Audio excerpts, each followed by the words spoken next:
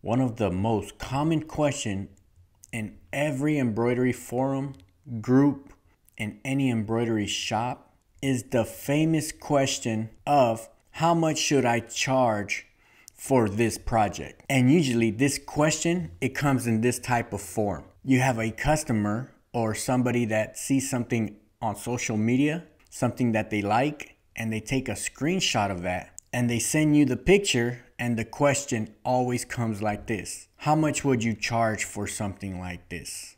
We've all seen that question. We've all had that experience where a question comes. Now, when you receive a question like that, sometimes it catches you off guard because you don't have enough information to answer that question. There's about 20 variables that you could probably think of that kind of play into how much to charge. And in today's video, I want to answer one of the most elusive, most challenging question that is how much would you charge for this product? Now, I've broken down this answer in three levels with level one being a quick, easy way to kind of get the price to level two and level three, which requires a little bit more analyzing and a little bit more thought.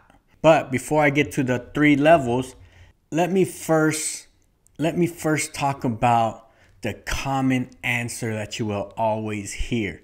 If you ask this question, how much should I charge for this project? There's always going to be this template answer, and that is a dollar per thousand stitches. Now, I've probably heard the dollar per thousand stitches, maybe going all the way back to the early 2000s. So I'm talking about 20 years ago. Okay, if it probably worked back then, if you're still using that pricing structure, it might not work anymore.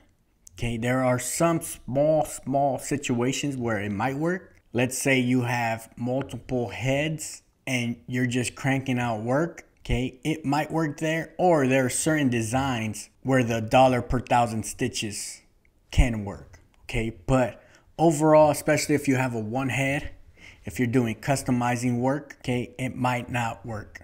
So for our examples i'm just going to make up random numbers okay? Everybody has different numbers and the main purpose of this exercise is you have to you have to sit down go over and analyze your numbers, crunch your numbers, okay? Do not be scared of calculating numbers. It's a process that has to be done. And the sooner, the earlier you analyze it, the less time is spent when somebody contacts you for a price. Okay, and one last tip before we get started is a good exercise you might want to do is put yourself in what if situations. What if somebody called you today and asked for this amount of garments? Okay, already have everything laid out because it's gonna happen. People are going to call you with whatever you're showing, whatever you're promoting. So make sure you have all these what if questions answered before you receive these questions. So I got the whiteboard, the GoPro ready to go. Let's begin with level number one in pricing your embroidery projects. Okay, so level one, I'm going to keep it very basic. This is just a quick way of pricing your garment. The main thing about level one is you want to make a profit. Okay, make a profit. Now, I know that seems pretty obvious, right? You might tell yourself, well, of course, you have to make a, a profit. That's kind of obvious. But the problem is when the problem is when you're comparing prices with other similar shops okay you might you might get tempted because there's certain there's certain there might be a certain shop that's charging dirt cheap prices.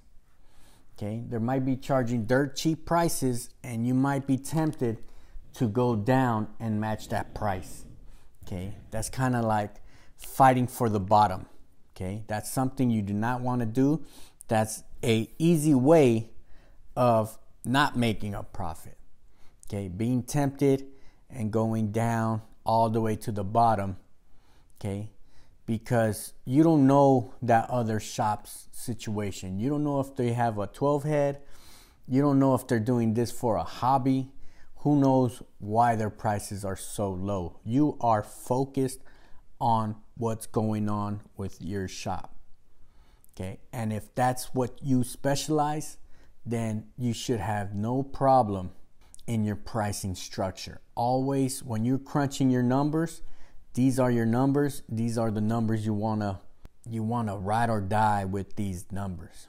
And there's always times where you're going to have to tweak it, but you have to know up to what level you could tweak your numbers. Okay, so let's this first box here is your expense, expenses, okay, expenses, profit, total. Okay, this is the most basic. This is kind of like just business 101 here. Okay, expenses. So that would include your your garment or also known as your blanks. Okay, you're going to charge for your consumables.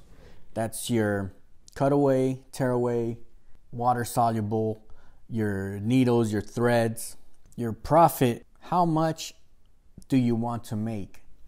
So, this is a number that you have to think about. Since this is level one and we're not making it too complicated, you have to decide how much is that block of time that you're going to spend on this project how much that how much is that going to cost okay so let's say it's it's a project that's going to take a whole afternoon let's say it, it, you're going to charge somebody 150 okay 150 for an afternoon of your time. Okay and like i said this number here is just a made up number. Okay we're just making this up. We're going to say that this is this is a project that'll probably take you four hours maybe. When you're estimating this type a level one you kind of know okay i'm gonna have to use an afternoon for this project. Other profit okay so this is for your time other profit that you could include in this box is markups. Okay, so if you're buying this garment for ten dollars, let's say you're you're you're getting this blank for ten dollars. Now this number is just like I said, random number. Okay, let's say you want to mark it up fifty percent of ten. Okay, so you're going to mark it up five bucks. Other expenses here, so we said your consumables, your consumables. And you could just to be on the safe side okay you could probably say that's five bucks per item okay? You know you're getting a lot of your consumables covered in this five dollars. Garment blacks per piece that's probably let's say four hours. Just an estimate. This is not you're you kind of make this judgment call. And a lot of time when you're dealing with hours and at this level we're not necessarily charging by the hour you're just estimating how much time does it is it going to take you to do this project. If we get a quick total price, all right, let's say we have 12, 12 items. Okay, so that's 12 times 10 plus 5. So this blue one, all right, gives you 180. Okay, for 12 pieces.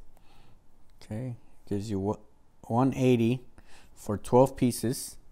Then your profit portion Okay, if you're charging $5 per markup, so that's 150 plus 12 times 5. So this is just basic algebra that we're doing.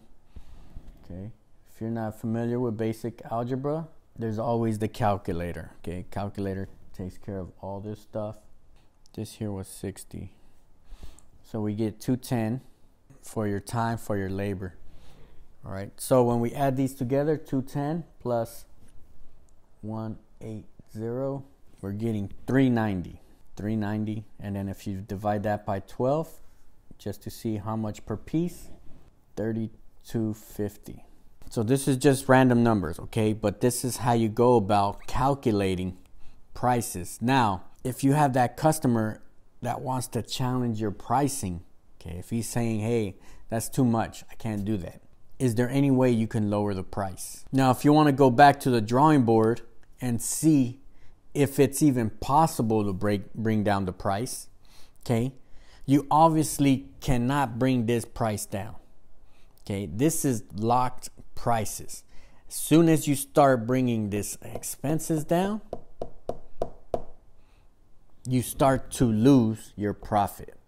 Okay? That's one major thing about this level 1 is you're doing a quick estimate, but one thing that you cannot budge on is on your expenses because you're not making any money off the this expense is what it costs to do this project.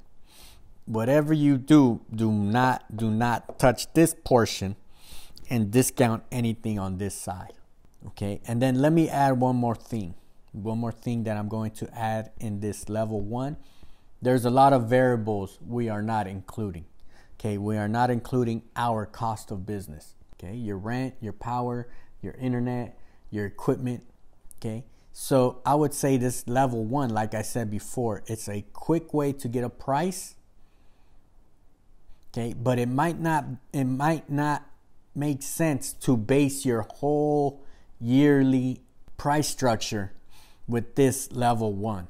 Okay, this level one, it just makes sure the only thing you're checking is I'm making a profit. If you want to include the cost of business, you can add it here on, on your profit. Okay, so going back to our example where the customer wants us to bring down the price, and if you even want to think about it, this is the only location. The, the profit portion is the only location, okay, that you can touch.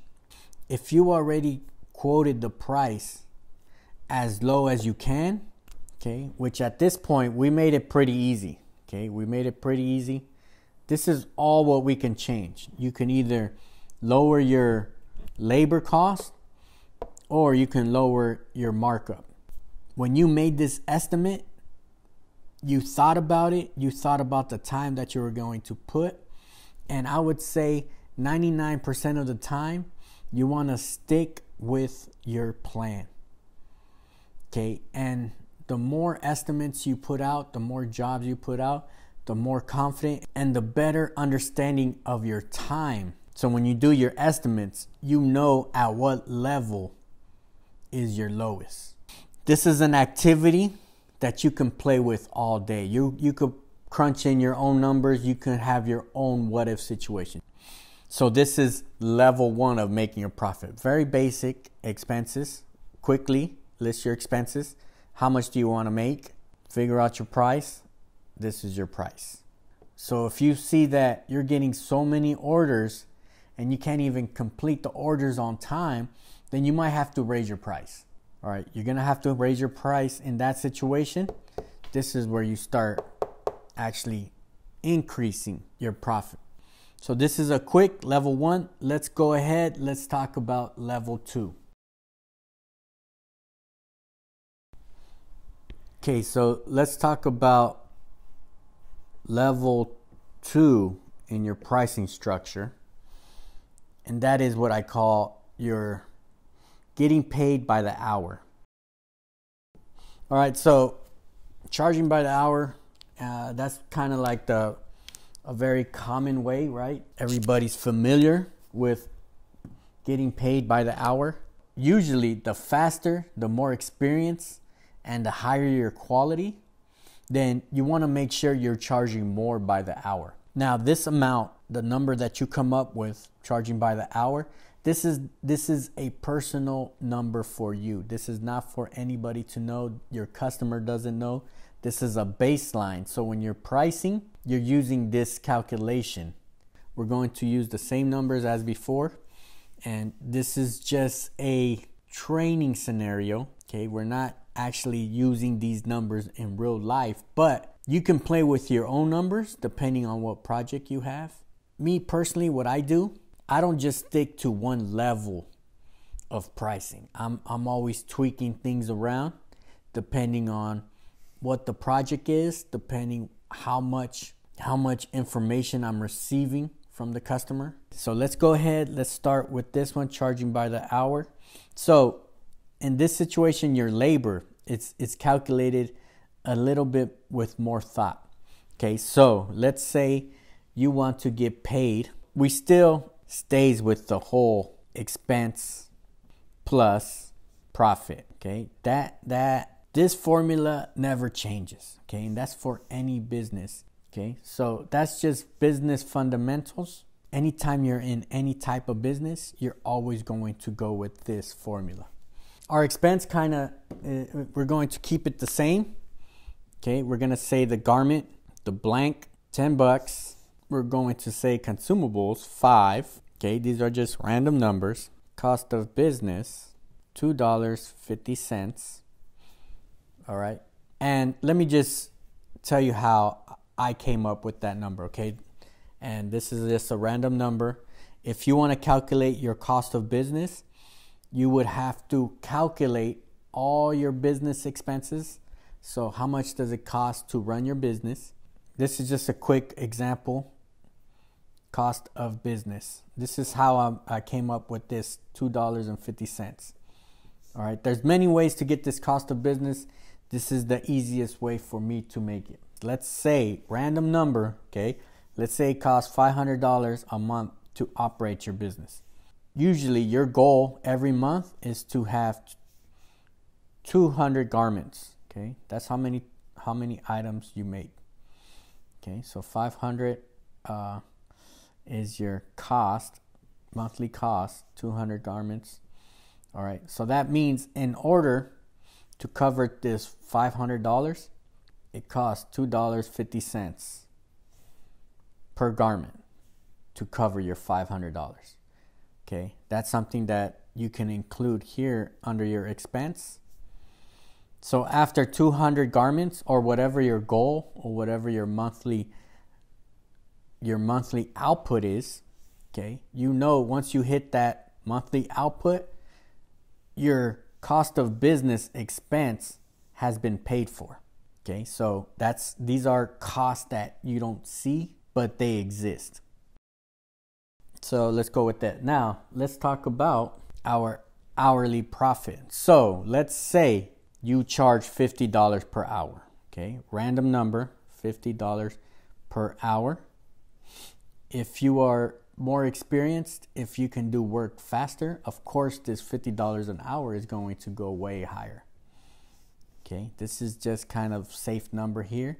And same thing, if you're just learning in starting the business, okay, you might want to decrease this while you learn.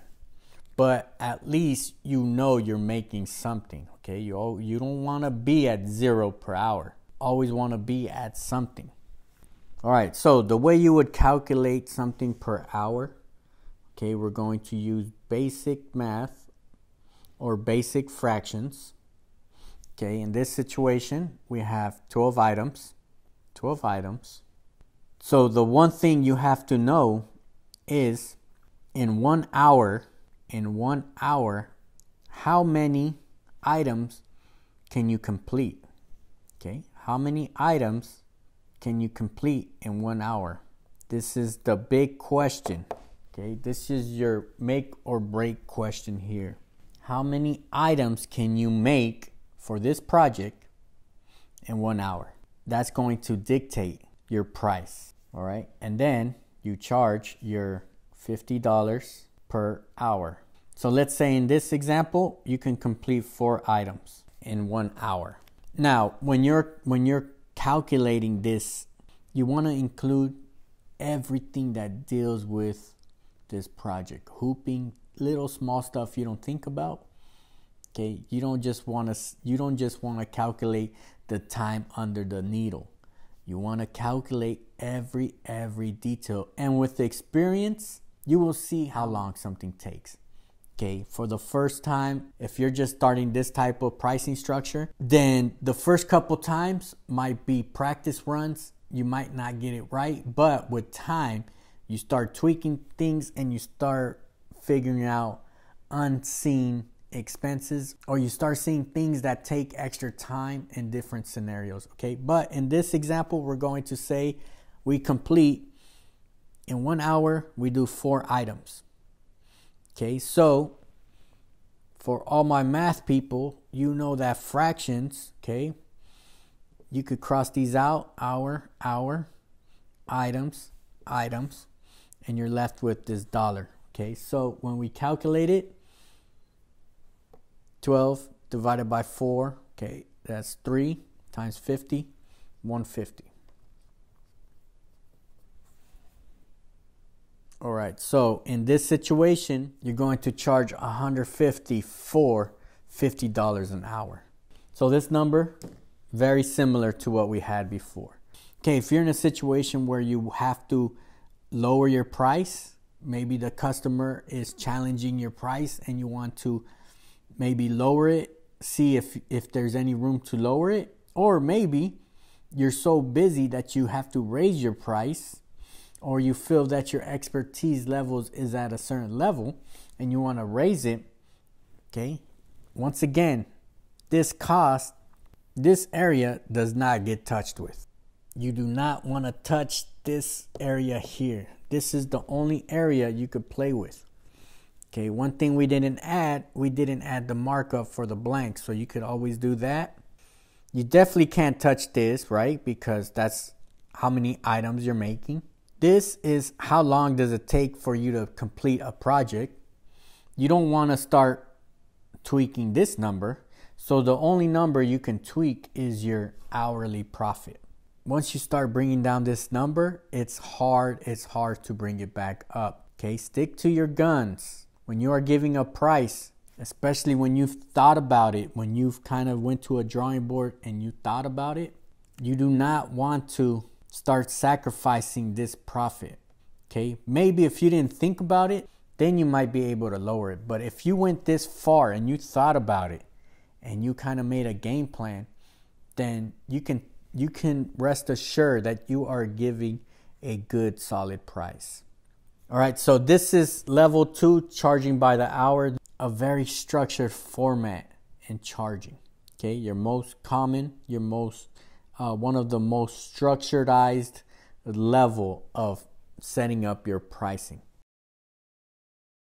Okay, let's go with level three.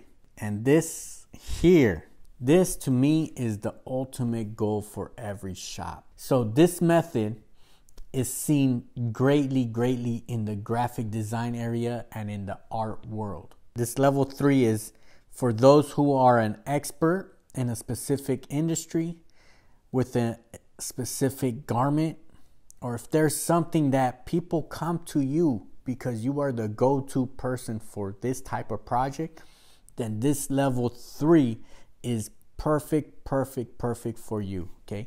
And I'm going to call this charging for your expertise. There are people out there.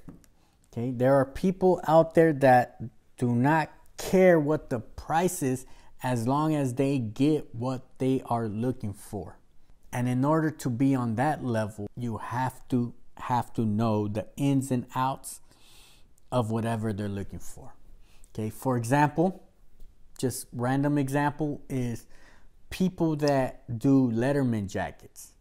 Okay, to do Letterman jackets, not anyone could just tackle that project. There's a lot of variables that go into Letterman jackets. There's details, specific stitches that need to happen there's specific rules and locations of areas of where to stitch on. There's certain do's and don'ts with Letterman jackets. So I, I put the Letterman jacket as an example of charging for your expertise. At that level, you're not just making up random numbers. You are not necessarily paying by the hour. You have a set price, and a lot of that price has to do with demand. Okay, usually when you are a go to person, you have a line of people seeking for the product you are selling. Okay, so this here is kind of, I would say, is the ultimate goal of your shop. I always preach in finding your niche, find something that you're good in, find a community that fits you, that you know the language, that you know the rules and you know the culture if you find if you're in that type of area then you can fall into this level 3 easily we still have our expense plus profit price Okay, so using our same examples, okay, our our our expenses are still okay. You still have blanks. Now the profit area, that all depends on your demand. How many people are looking for what you are selling? At that point, you have a set price, and that price is above. Okay, when you're at this level, you have your regulars, you have your bottom. This is prices, okay? Well, people charge your regulars. And you are here at a premium. You are charging premium, and that's because of your expertise, your speed, and providing what that customer is looking for. If you can deliver, if you can deliver what nobody can deliver with speed, time, quality, then you are in this level three. And when you're at this level three, your prices are firm. You are not fighting for a five dollar discount. Okay, you are you are not you kind of you are not in that area of oh I can let me see what I can do. Let me see what I can do to lower this price. Okay. So you're charging premium. So let's say our previous charge was 150 at this level, you would be at 250. Okay, 250 bucks. All right. And a lot of times at this level, this is a popular price structure for the arts world, for example, the graphic designers, is because sometimes when you're an expert in a, in a specific area, then it takes you a shorter time to complete projects. So at that level, it doesn't make sense to, to charge by the hour because you're actually doing it faster. So that's why it doesn't make sense to charge by the hour once you hit expert level. Okay, and expert level, you don't have don't think that it takes 20 years to become an expert. All you have to do is find a targeted, okay, a targeted area that you're going to work on every single day and you're going to work on that specific target and master that target and you will get to this level. There you go. This is just kind of playing with numbers, okay? This is nothing set in stone. Here in our shop, I would say we kind of work with the three levels. Okay, I'm not gonna say we are solid in this level or we're solid in, the, in, in, in here. We are in a situation where we kind of take a little bit from each level, and of course, this here being the the ultimate level you want to get to. Once you once you are on this level, there's less time going back and forth with your customer. Okay, your customers know, hey, this is what this specialist charges this is it's either yes or a no. Of course, everything is negotiable and negotiating is always part of the game, but for the most part, your prices are your prices and and you're providing the best of the best in whatever industry that is. This is a very productive activity you can do on your own also, okay? Make sure you're playing with numbers and make sure you're always setting up those what if situations because believe it or not, you will receive all types of what if situations with your shop. Okay, so once again, thanks for hanging out, and I'll see you on the next one. Peace.